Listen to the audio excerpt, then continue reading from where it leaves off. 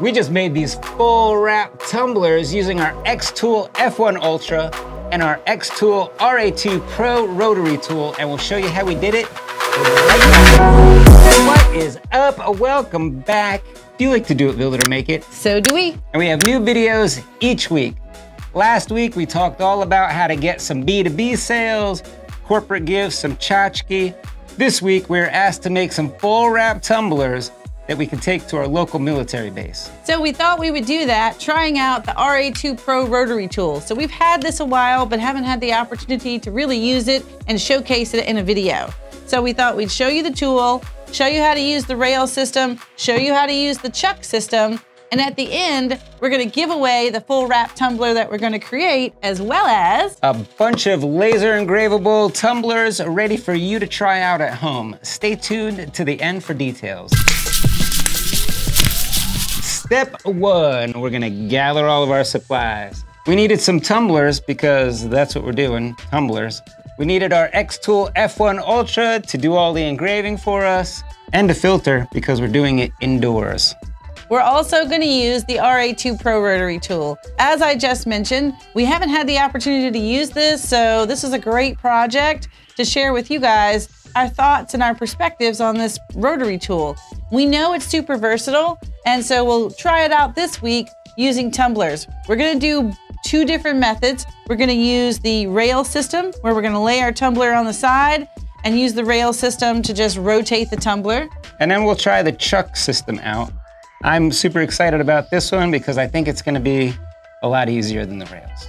So we're gonna do our first tumbler with the rails. We're gonna come back and I'm gonna show you how to assemble the chuck because I haven't done it yet myself. So we're gonna do it together.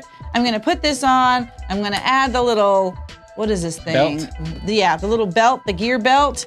And then in a later video, we're also gonna show you how to use the sphere a system here. So this will hold a round ball, a baseball, a Christmas ornament, and allow you to rotate a spherical, uh, yeah, a spherical item. A ball. and then in another video, or maybe those will be the same video, I don't No. know yet, but I'm looking forward to trying out the three prongs and doing a ring. So this will allow you to hold on to a fine, tiny piece of round jewelry and engrave on the outside of a ring. Hmm. So, I have to see that one. yeah. But those are future videos. Stay tuned. For this video, we're going to use our rail system, our chuck system, and show you how it goes. And follow us for next week's video because next week we're going to show you how to create your own customized full wrap tumbler. Step two, riding the rails. We're gonna use it straight out of the box. The rotary system with the rails has three positions. So there's an A, B, C position. The C position is the widest position, and that's what we're going to use to engrave our tumbler. But you can move the rails closer and closer to engrave on smaller cylindrical items, such as maybe a champagne flute that's going to be very thin, wine glasses. But the largest position is for the tumblers here, and that's going to give us the, the best, I guess, grip for something as wide as a tumbler. The other great thing about the RA2 Pro rotary tool is the leveling system. So here's a separate foot that you can use to set the back of the tumbler on because this is tapered. You can use this to level the tumbler. It even comes with a little level system. So I can move this so that it levels the tumbler. Let me I'm using it the wrong way. so that it levels it perfectly for engraving. It's always engraving on a level surface. And you'll get less walking with a level surface. All right, so I think we're pretty much ready to go. We're gonna set this inside our X tool and to plug it in, it's super simple. You're just gonna attach it right to the side. Let me get this out. You're gonna plug this in, the little white in, into the back of the tumbler. This in goes right into the accessory port on the side of the F1 Ultra. And that's all there is to it. After that, it's gonna recognize the rotary tool and be ready to engrave. Now let's jump right into Creative Space and set up our design. First, we're gonna ensure that we are connected to the F1 Ultra. And then we're gonna go over here and select mode, use rotary attachment.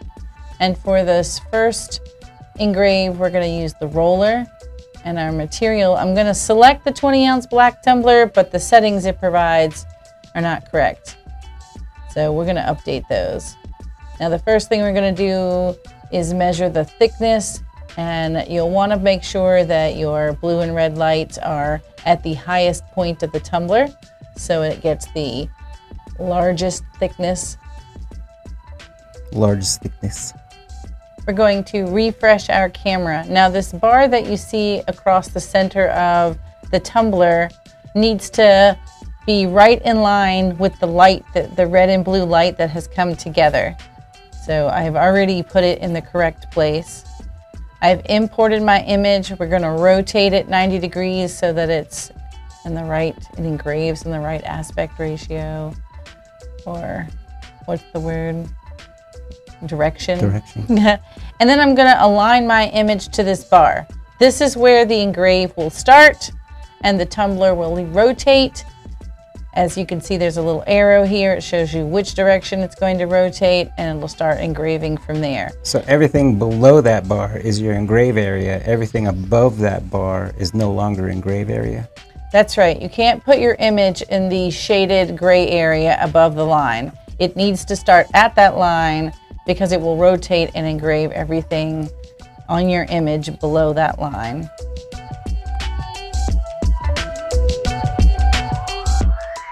And here we're going to update our settings. You can see that I'm going to update the dots to 180, the power to 95% power, and then the DPI to 300. Everything else is going to stay the same. And then we'll click process.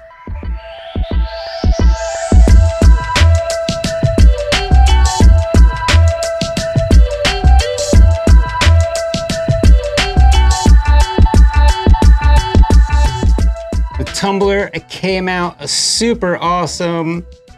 It fully wrapped, except except on the second pass here. it started to overlap, like it walked a little bit, so it wasn't perfectly lined up for the second pass, but I stopped it, we saved it, it looks great. So I had read that one of the things that you'll do is once you engrave your tumblers, you're gonna wipe them off. I had read that if you do two passes on your tumbler, it would save on cleanup.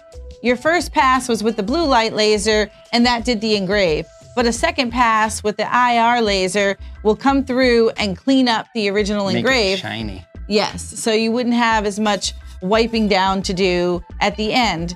But I'm not sure what I did wrong. Uh, I had both images over top of each other. I had it set to run by layer. And when it started the IR layers layer, it wasn't lined up perfectly. So good thing Garrett stopped it. So you'll see just a little bit of a an over engrave for there's, the second There's pass. another reason to keep your eye on your laser projects while they're going. So that, you know, when it gets to a point where it's acceptable, before it gets ruined, you get to stop it. Step three, time to install the chuck and test this guy out. I'll let my lowly assistant do all the assembly work. the great thing about this also is it comes with two different arms for the chuck. One that's just a single arm and two that has a two-step arm. So we're gonna use the two-step arm because it has a small little end that's gonna hold the end of the tumbler and not move into the engravable area. It's just gonna hold and grasp the tumbler over here on this metal section that we're not planning to engrave. So let's go ahead and screw these right onto the chuck system.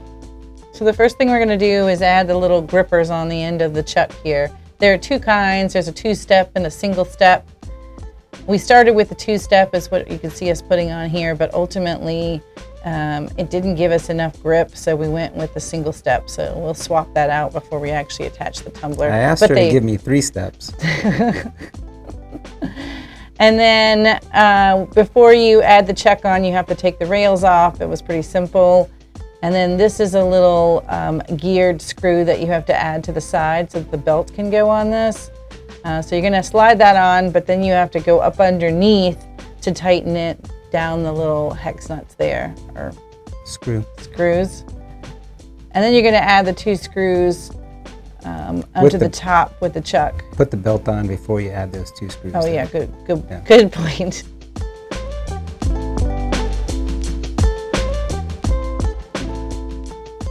Now this is pretty much the same. I'm making sure that I'm connected to the F1 Ultra and then I'm going to choose the rotary attachment, but this time we're going to select chuck.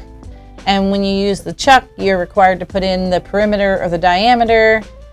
And then I'm going to choose 20 ounce black tumbler, but when I do, it clears my perimeter, so I'm going to go put that back in. And then same thing, we're going to measure the thickness.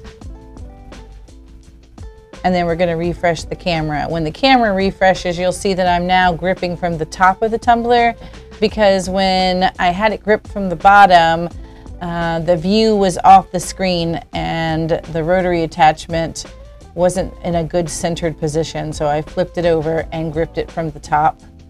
That's why I switched from the, the two-step grippers to the one-step.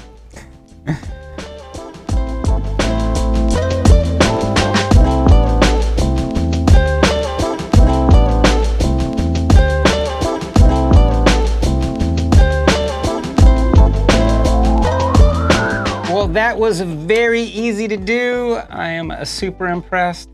I'm loving uh, the full wrap.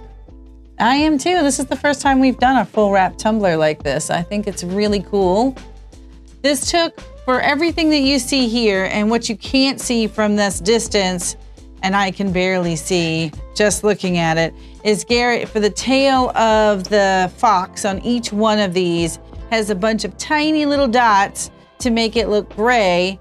Uh, so with that detail, that level of detail in every one of these, they, this tumbler took about 20 minutes. Each of these took about 20 minutes. I think without that level of detail, it'd be even faster. I think so too. I, I can't wait to do some military logos like this that are all wrapped. I think they look so sweet. And I think it would be easy to do either one. Honestly, I think the rails or the chuck, I, I really don't have a preference, right? Well, I think the chuck Probably would have been easier if you were coming in with a second pass because there's less walk on the chuck. I don't know if there's oh, any walk point. on the chuck. Good point, good point. Whereas the, the rails seem to walk a little bit. Mm-hmm. Yeah. It did move when it moved fast. It doesn't really walk during a slow engrave process, but when it rotates around, it does move a little bit. Jostles about. and next week, we'll show you how to make a full wrap tumbler design, and then uh, we'll make another full wrap. You guys ready for a giveaway? We're gonna give away six of these tumblers, just like we engraved today. That's like over an $80 value. Leave us a comment down below. How do you do your tumblers? Are you using resin? Are you doing full wraps? Are you laser engraving these things? Leave us a comment down below and we'll pick a winner from there. Otherwise, big thanks to our patrons. We love you guys and that is the best way to support this channel. We have a super secret Facebook group, you know, classes, but it's really about the community. The community over there is the best community ever. I'm about out of time, so if you're not gonna join us for the Patreon after show, we will see you next week where we'll do it, build it, and make it again. And you know how hard it is to balance like one tumbler? What if I do two? Oh, wow. Oh, that's yeah. fancy. Uh -huh. And we're in like it's gonna be loud. Yeah, let's try three.